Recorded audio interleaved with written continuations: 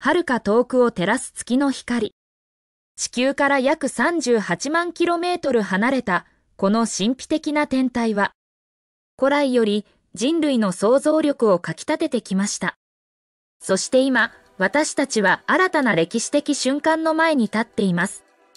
NASA が主導するアルテミス計画は、人類を再び月へと導く野心的なミッションです。アポロ計画以来、人類が月面を歩いたのは1972年が最後。しかし、アルテミス計画を通じて、私たちは新たな一歩を踏み出そうとしています。では、なぜ今、人類は再び月を目指すのでしょうか？アルテミス計画の目的は、単に月面着陸を再現することだけではありません。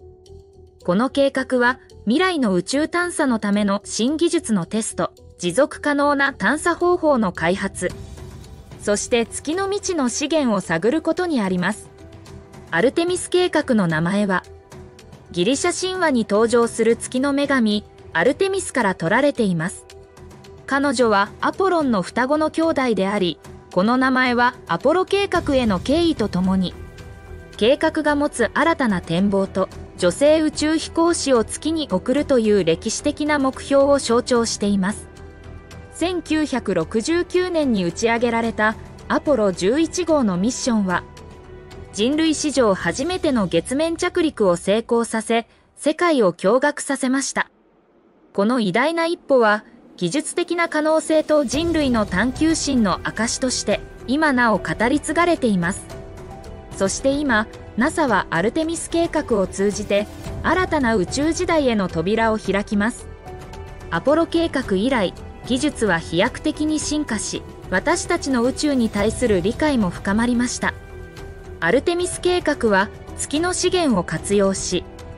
長期的な人類の居住可能性を探ることを目標としています。アルテミス計画は月を足がかりとして、将来的には人類が火星へと旅するための基盤を築きます。NASA のアルテミス計画は人類の宇宙探査の新たな章を開くために着々と進行中です。まず、2022年11月にアルテミス1号は無人の試験飛行として打ち上げられました。このミッションでは、オリオン宇宙船をスペースローンチシステムロケットに搭載し、月を周回する飛行をしました。SLS は NASA が開発した史上最強のロケットで、人類を再び月へ、そしてその先へと運ぶ鍵となる技術です。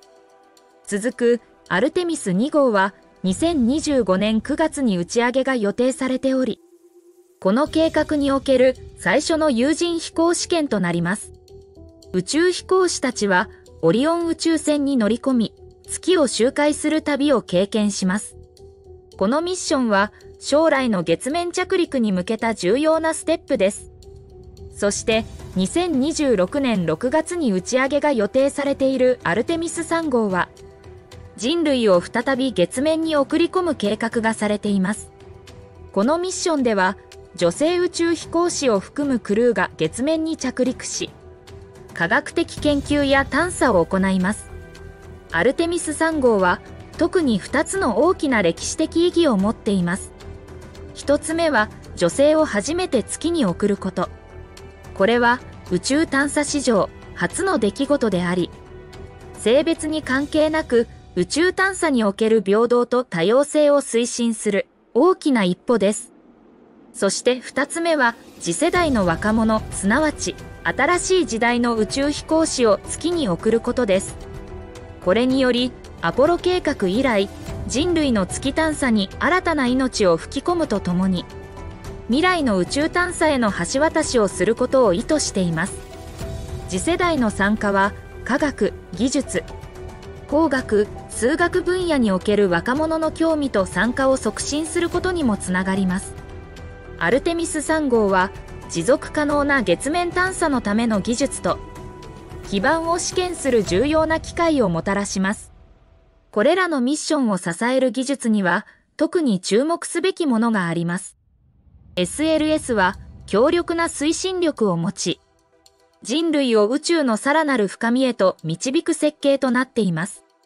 オリオン宇宙船は宇宙飛行士が月への旅と帰還を安全に行うために必要な最先端の生命維持システムと保護機能を備えています。アルテミス計画はこれらのミッションを通じて人類の宇宙探査の可能性を広げています。2026年のアルテミス3号の月面着陸を皮切りに NASA は月面に持続可能な人類の存在感を確立し、最終的には火星への探査を目指します。アルテミス計画は単に人類を月に送り込むだけのミッションではありません。この計画は未知の科学的発見と技術革新の扉を開く鍵となります。特に注目されているのは月の南極に存在する氷です。過去の探査ミッションにより月の南極地域には水が氷の形で存在することが示されました。アルテミス計画は、この水の探査と利用方法を探ります。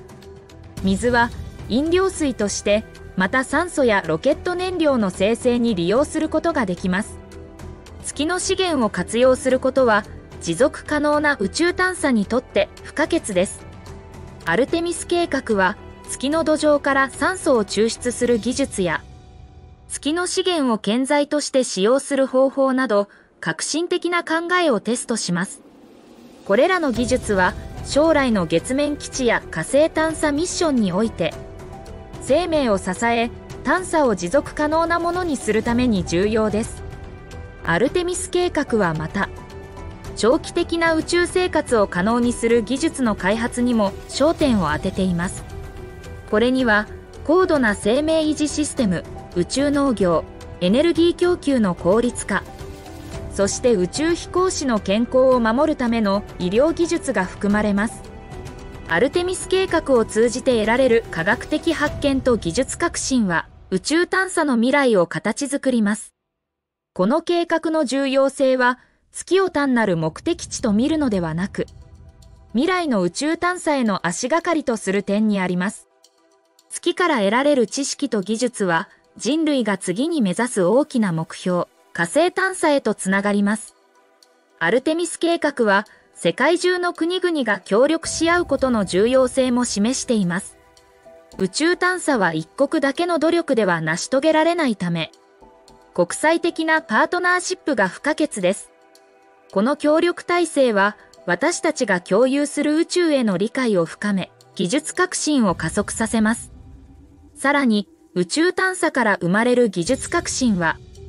私たちの日常生活にも多大な恩恵をもたらします。衛星通信、GPS ナビゲーション、医療技術の進歩など、宇宙技術が生み出した便利なツールは数えきれません。アルテミス計画からも新たな技術や発見が期待されています。アルテミス計画は夢と希望を持つ次世代の科学者、エンジニア、探検家たちに無限の可能性を示しています。この計画を通じて彼らは新しい挑戦に立ち向かう勇気とインスピレーションを得るでしょう。私たちの一歩一歩が未来への大きな飛躍へとつながっています。